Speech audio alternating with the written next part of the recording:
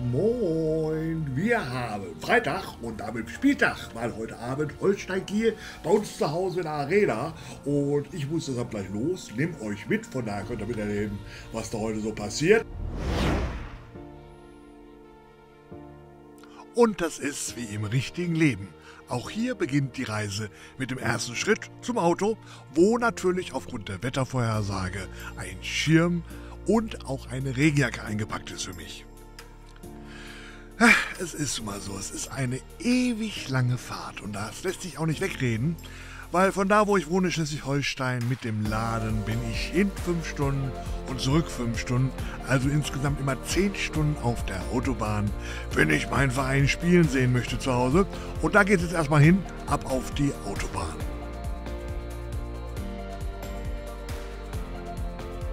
Meine Frau ist neben mir.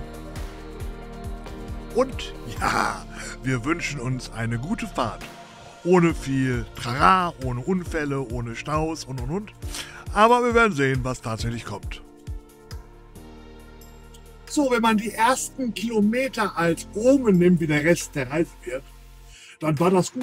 Dann war das bis jetzt wirklich sehr angenehm. Und mal schauen, was das so raus wird. Ne? Weil alles schön frei.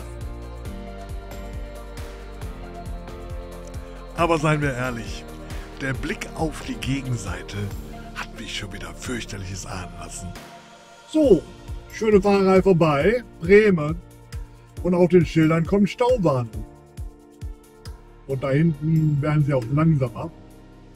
Das heißt, jetzt dauert es dann wieder ein bisschen. Mal sehen, wie viele Staus das heute werden. Ich bin gespannt. Gerade war das Schild groß Ebner. Und wie du es dir denken kannst, Stau. Der nächste. Von da mal gucken, wie lange dieser so ist. Und du wirst es ahnen. Ja, das ist soweit.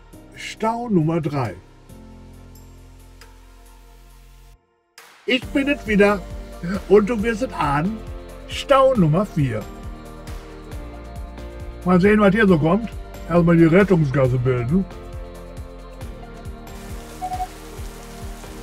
Dann, meine Lieben, dann kam der Regen.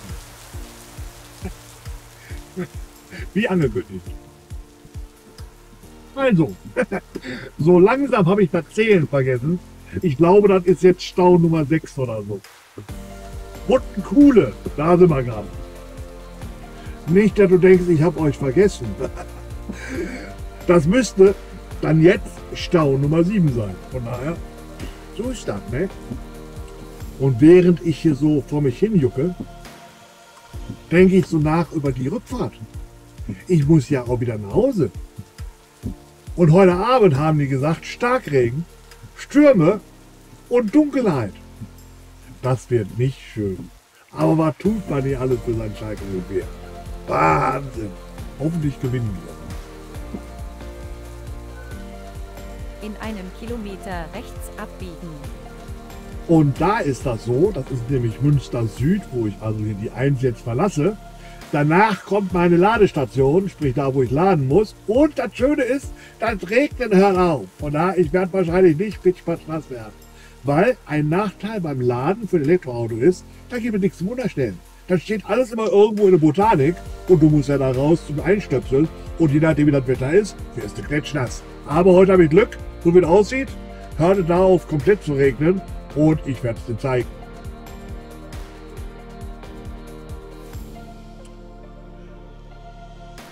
Wie man so ein Elektroauto lädt, weißt du ja schon. Deshalb hier mal im Schnelldurchlauf, sprich doppelte Geschwindigkeit.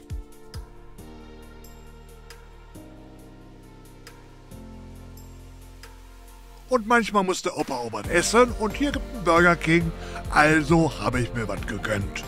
Ja, ein Chili Burger und zwei Doppelcheeseburger und ein Milchshake Vanille.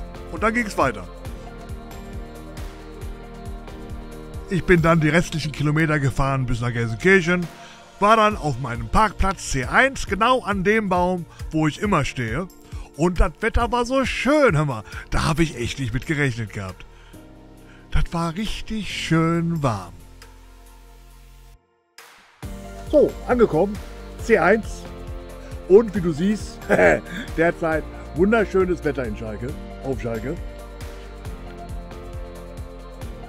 Gucken wir, ob wir so bleiben. Ne? Richtig verblüffend ist es heute. Das ist total leer. Ich bin ja gut drei Stunden früher hier, aber sonst ist das voller. Vermutlich, weil mitten in der Woche und so. Ne? Von daher, wir gucken mal, was so passiert. Erstmal war wieder angesagt, dass Leute von mir ein Foto und ein Autogramm haben wollten. Sowas mache ich ja gerne. Ah, und da hinten, auf dem Weg Richtung Geschäftsstelle, wurde auf dem linken Platz vorbereitet für die Schalker U12-Mannschaft. Und das war wichtig, weil der ältere Bruder vom Torwart dieser U12-Mannschaft hat mich da angesprochen und hat für seinen Bruder sich ein Autogramm geben lassen und ich habe dem noch eine CD von mir geschenkt. Und dann wurde es Zeit, dass ich zu meinem Eingang ging, bin immer recht früh im Stadion und auf dem Weg dahin gab es dann doch einige wieder, die Fotos und Autogramme von mir haben wollten. Wenn du mich irgendwo siehst, sprech mich einfach an. Schreib dich hinterher, du hast mich gesehen und nicht getraut. Hör mal, wenn er einen ansprechen kann, dann doch wohl den Opa. Und ich hab das ja nur auch schon mehrfach gesagt, mir machst du damit auch eine richtige Freude, weil sowas mache ich echt gerne. Also, wenn du mich siehst, einfach anquasseln. Besser kann's gar nicht machen. Und dann kam jemand, und den muss ich dir vorstellen. Moin, ich darf vorstellen, das ist André. Und André erzählt uns, wie das Spiel heute wird. Also ich tippe auf ein ganz klares 3-1 für uns. Und was machst du, wenn das nicht so kommt? Wenn das nicht so kommt, äh, muss ich mir was überlegen. Was war ich denn dann? Hm, dann gebe ich dir einen aus. Wunderbar. Wunderbar. Wobei nicht wunderbar. Ich will ich nicht. Will ich Nicht? Nein, nein, nein, nein. Was denn? Moin, keine Ahnung. Hm, Ja. was wir denn Du überlegst mal bis zum nächsten Heimspiel. Genau, überlege ich mir Bei so jungen Fans gehe ich ja meistens auf die Knie, aber danach war mir heute nicht. Und dann ging's endlich rein. Und dann kamen dann die nächsten beiden, die euch was erzählen wollten. So, jetzt bin ich mit Erik und mit Daniel. Und die beiden werden uns auch erzählen, was ihre Prognose ist für das Spiel. So, also mein Tipp für heute ein souveränes 6 zu 1 für Schalke. Ich sag, gibt ein akkurates 4 zu 2. Terode, ne? Terode wird früh starten. Früh starten und dann denke ich mal, wird das noch ein gutes Ding für uns werden. Also ich glaube dann auch. Ich glaube, dass wir heute echt gut sind, weil wir haben was gut zu machen. Haben wir. Und heute werden wir zeigen, wer wir sind. Von Das daher schießen wir aus der Arena. In dem Sinne, Glück auf! Glück auf! Dann sind wir wieder zu Hause, ne? Was für ein geiles Gefühl, hör mal. So muss das sein. Ah, zwar wieder viel zu früh, aber so, wenn fast leer ist, es hat schon was, ne?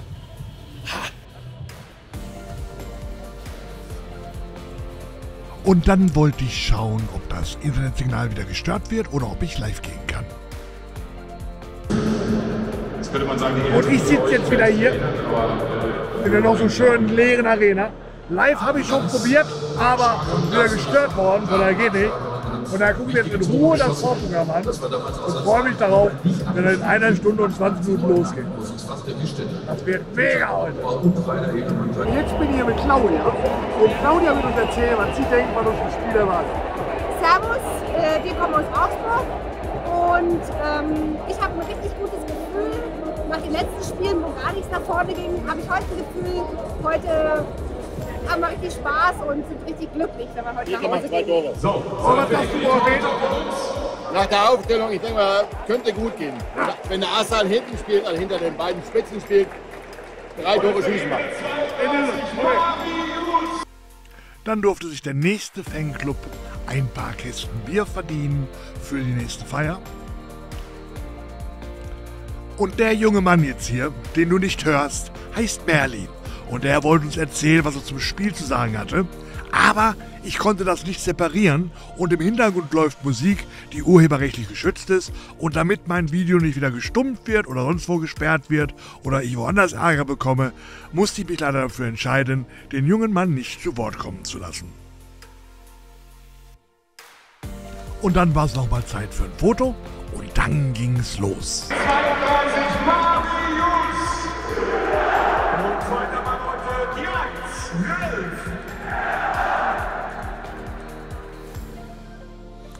Schau mal, ob du nicht ein bisschen von der Atmosphäre in dich aufsaugen kannst, weil das ist Schalke.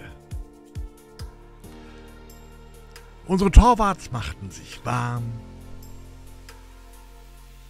Endlich wieder drei. Dann nochmal Fotos. Und die Aufstellung.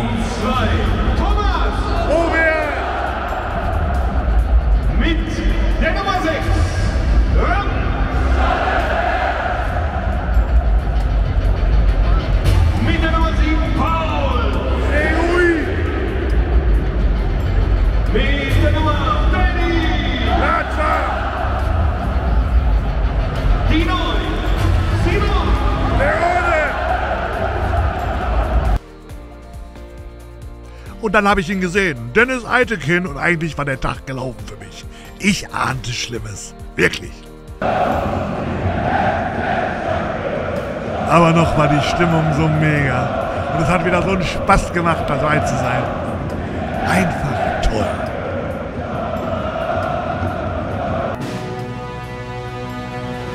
Glück auf, Glück auf. Der Steiger kommt. Und er hat sein helles Licht bei der Nacht. Und er hat sein helles Licht bei der Nacht. Schon angezündet, schon angezündet.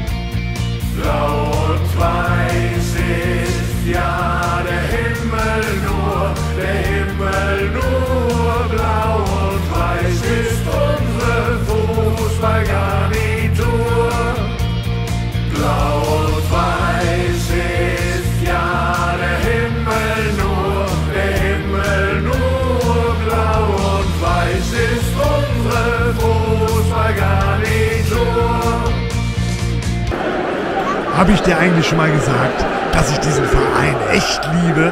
Ah, und dann kamen sie, beide Mannschaften, und es waren nur noch wenige Minuten, bis das Spiel begann.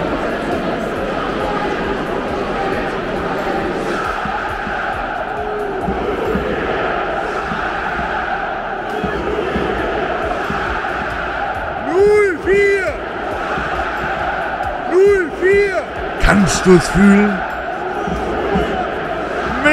Mega! Und dann ging's los. Und erstmal war alles in Ordnung. Irgendwie. Es war nicht berauschend. Aber meistens braucht es ja eh ein paar Monate, äh, paar Monate, paar Minuten.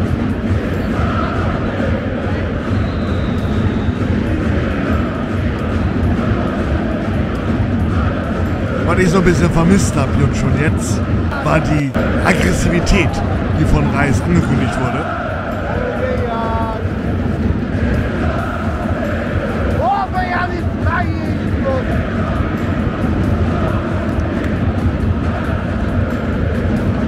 Und ihr könnt das mitbekommen, es war nicht jeder zufrieden mit dem, was da auf dem Platz stattgefunden hat.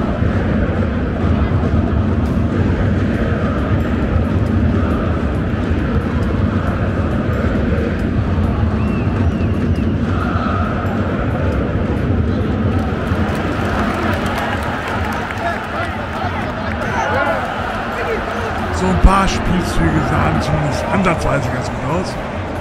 Aber das Gegentor, das war's dann, ne?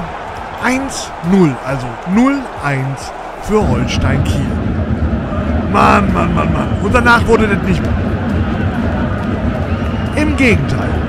Ron Schallenberg musste die Notbremse ziehen in der 39. Minute und damit waren wir nur noch 10 Feldspieler und das für 50 Minuten.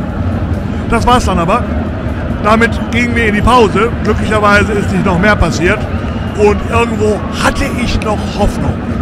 Aber wie gesagt, keine schöne erste Halbzeit.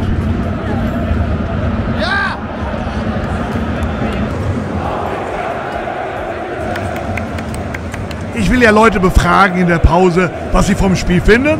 Und ich habe jemanden gefunden. Bitteschön. So, Halbzeit. Und Kenneth sagt mir, was er denkt. Letztendlich ein emotionaler Auftritt mal wieder von uns. Wir müssen auf jeden Fall in der zweiten Halbzeit was an den Toren machen. Nach vorne ist auf jeden Fall besser als beim letzten Mal, aber hinten die Absicherung geht gar nicht. Wir sind viel zu offen.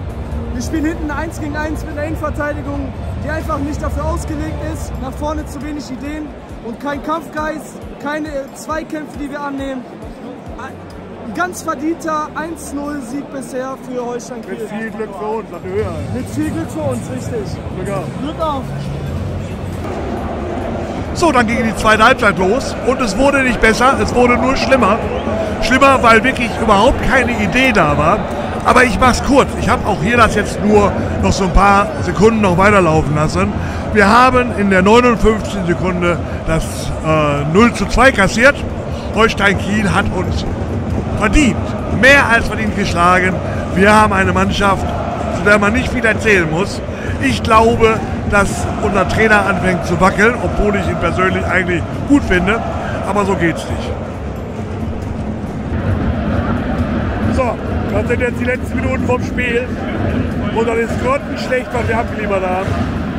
Katastrophe. Also ich weiß nicht, sowas von, keine Ahnung, keine Ideen, nichts nach vorne. Unmöglich, unmöglich. Naja, egal.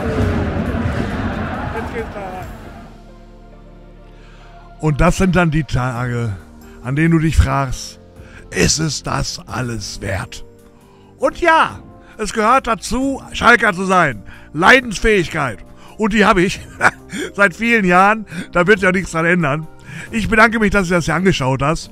Äh, wenn du möchtest, falls du mich unterstützen möchtest, abonnierst du das hier. Ähm, wie gesagt, meinen Kanal, damit du auch nichts verpasst, wenn in Zukunft was kommt. Lass einen Kommentar da, wenn du möchtest. Und wie gesagt, herzlichen Dank für deine Zeit. Ich hoffe, es hat dir wenig Spaß gemacht.